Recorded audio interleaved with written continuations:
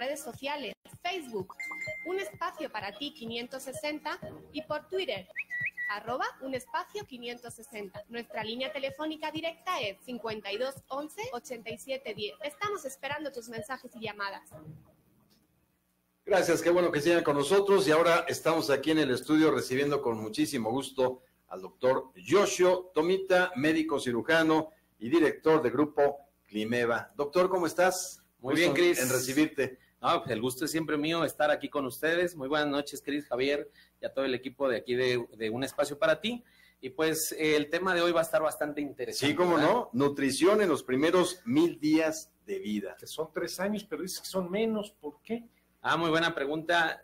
En la última década se ha hablado sobre este tema tan importante que es la nutrición en los primeros mil días de vida.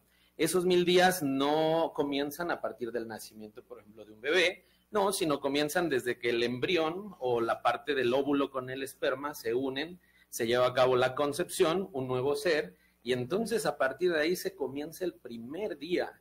Si nosotros sumamos los días de los nueve meses del embarazo y los traducimos a días, son 270 días. Si nosotros le sumamos 365 días del primer año ahora sí de vida, ¿verdad? 270 de todo el embarazo, 365 del primer año, y otros 365 años del segundo año, todos esos datos nos dan mil días. Están aproximadamente. Ahí están. Eh, hay embarazos que duran más, un poquito menos, pero...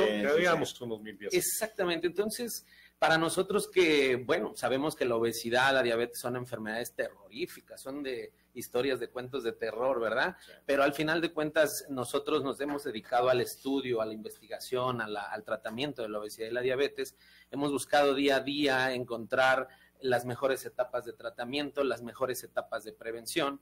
Y hasta ahorita la ciencia, la investigación ha dicho que eh, si nosotros logramos prevenir, que si queremos prevenir la obesidad en la etapa adulta, debemos quedar una muy buena nutrición en esos primeros mil días, que como les repito, incluye todo el embarazo, primer y segundo año de vida del bebé.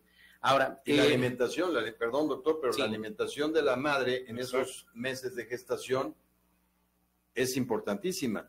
¿Qué recomiendan ustedes? A ver, se oye, no alcohol, eh, no sé, el tema de, de, por ejemplo, cigarros y eso, obviamente drogas no, pero ¿qué es lo que, qué es lo que sí tiene que comer una mujer o lo que tiene que evitar, aparte de lo, de lo que ya sabemos? Sí, claro, yo creo que además, como tú lo habías dicho, mi buen Javier, la parte del alcohol, las drogas, eh, diversos tipos de medicamentos. Nosotros debemos de, enseñar, sobre todo a las nuevas parejas que hoy en día se están casando y luego, bueno, hay gente que todavía no se casa y ya tiene hijos.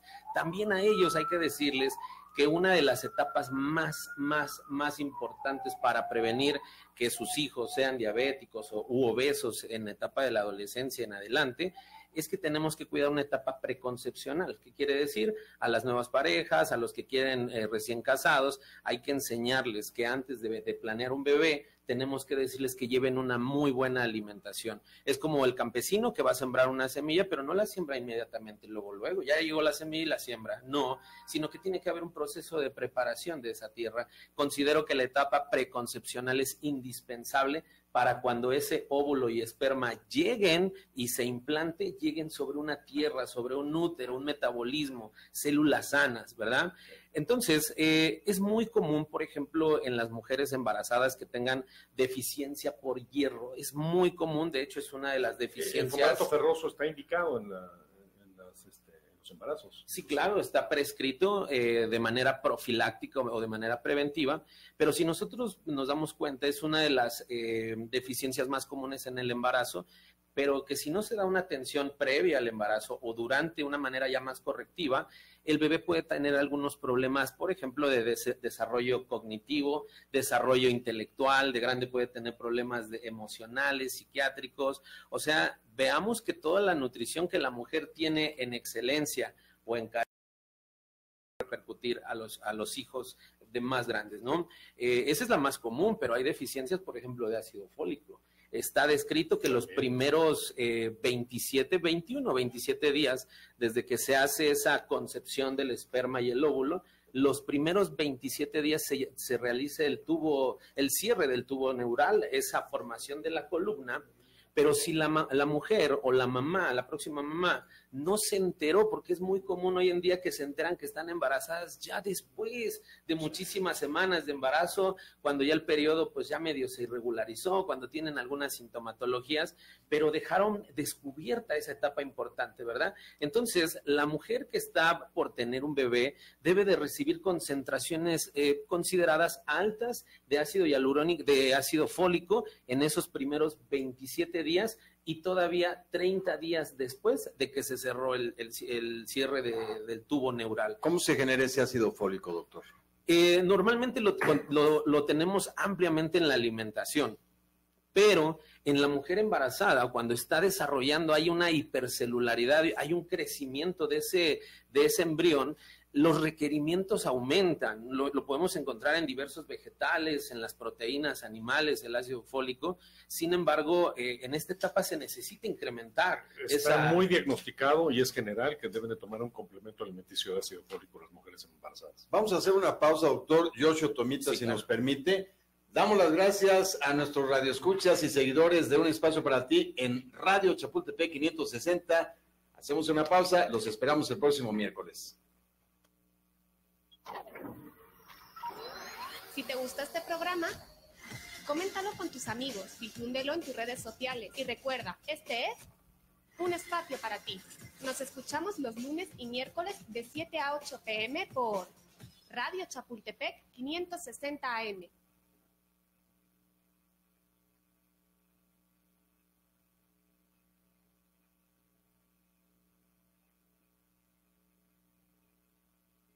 Escuchas Radio Chapultepec en el 560 AM, transmitiendo desde Palmas número 751, noveno piso, Colonia Lomas de Chapultepec, desde el Corporativo Balanci. Radio Chapultepec 560 AM, una frecuencia más de Balanci Radio.